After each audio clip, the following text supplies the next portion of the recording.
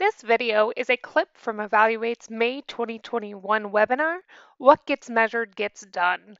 This video is about how to measure equity, including example evaluation questions, indicators, and data collection methods.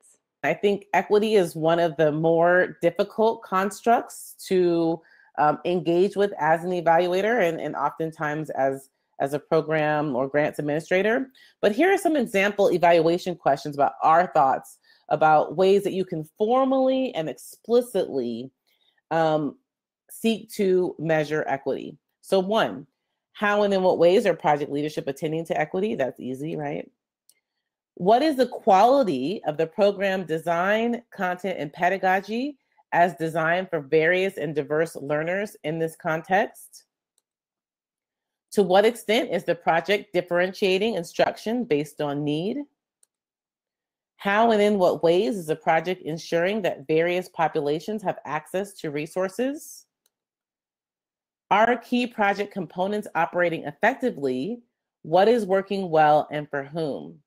And one of the things that whenever we we talk to evaluators about measuring DEI, we are often asked, well, how do I make sure that I'm looking at this? How do I make sure that I'm shining the spotlight um, and not just looking at diversity, right? Which is a little bit easier. And again, th- the way to do that is is by adding equity and inclusivity and diversity specific questions.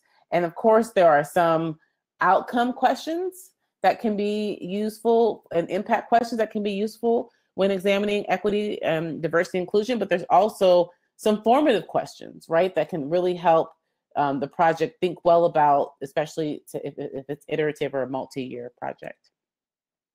And so lots of indicators to examine equity, right? Looking at um, external factors or threats and, and how they may differ across various groups. Looking at supports that are in place or access for a variety of groups, looking at the diversification of services depending upon need or depending upon population, looking at the trainings that have been offered and taking, taken by um, programmatic or project staff, looking to see if there's differences in compensation, right? Who gets paid what? Or who gets recognized for what as well, I would say. Um, criteria for selection, this is a huge one. Um, recruitment versus selection rates. Retention, and of course you wanna look at this disaggregated. Uh, disciplinary actions taken across um, various groups, right?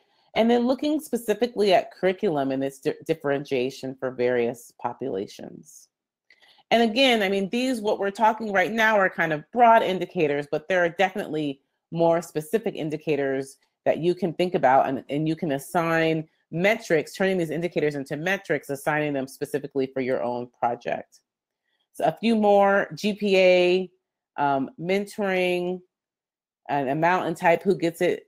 Of course, looking at satisfaction, again, disaggregating that data, looking at percent of resources based on need and attendance to see if there's any differences across various groups.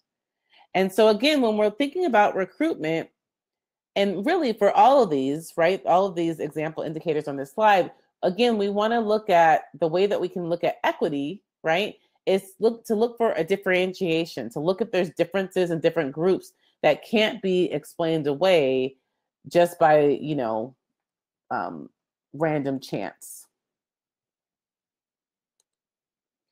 And so when we're looking at equity, again, some ways to look at this are similar to the ways that we um, collect data around diversity, surveys, interviews, focus groups, um, institutional or in administrative data, program documentation, but also observational data can help us see like what's happening and what's going on um, within the project.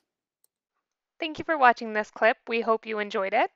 To learn more or to watch the full webinar, we encourage you to visit our website, evaluate.org.